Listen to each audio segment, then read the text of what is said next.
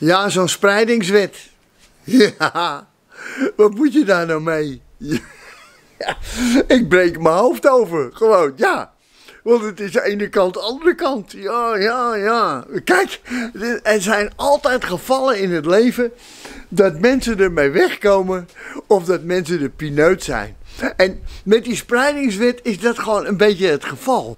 Want die, die spreidingswet, iedereen is er nu voor om te zeggen van ja, stop nou die instroom aan de voorkant. Ja, en dat begrijp ik. Ja, natuurlijk. Dat is nogal logisch. Want kijk, het is een beetje zo van dat er iemand met een tuinslang die staat je maar de hele tijd nat als buiten zo. Ja, ja, ja. En yes, je wordt hartstikke nat. En naast jou staat iemand met een handdoek. En die zegt, ja Harry, wil je even afdrogen? Nee, je moet, dat heeft weinig zin. Dat, zeg nou tegen die gozer dat hij stopt met die, pak die tuinslang af. Je, dat is het gewoon.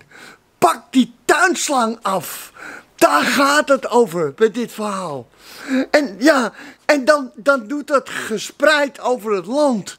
En die dwangwet, dat doet daar allemaal niet zoveel meer te zaken. En dan, en, maar als je dat dus niet doet, dan is ter apel de pineut. Want dat zei ik net al, er is altijd iemand de pineut. Of iemand komt ermee weg. En dat zijn dan, zeg maar, de gemeentes Eidenhout, ja, Heemstede, ja, Bloemendaal, Wassenaar.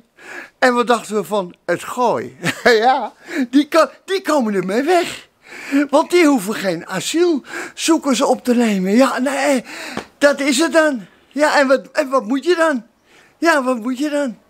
En ik denk dan bij mezelf, toch maar wat de meeste mensen eigenlijk ook denken. Ja, pak die tuinslang af.